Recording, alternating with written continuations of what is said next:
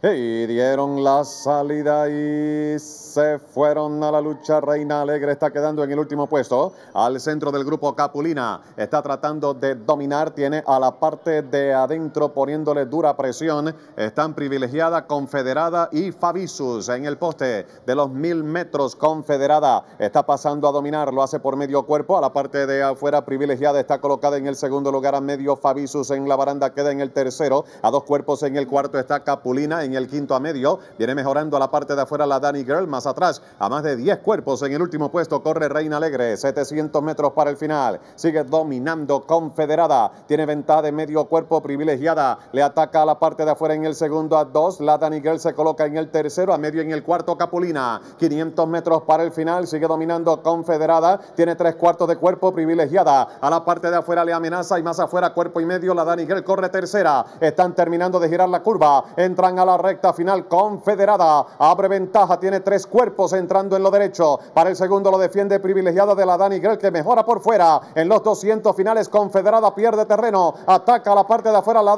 la Dani Grell y entre ambas está tratando también de estar en la pelea privilegiada. La Dani Grell pasa al frente en los 50. Para el segundo lo busca por fuera privilegiada y lo consigue. Ganó la Dani Grell por dos cuerpos. Para el segundo termina privilegiada. El tercero de confederada. Cuarta Reina Alegre. Luego Fabisus y el último puesto para Capulina.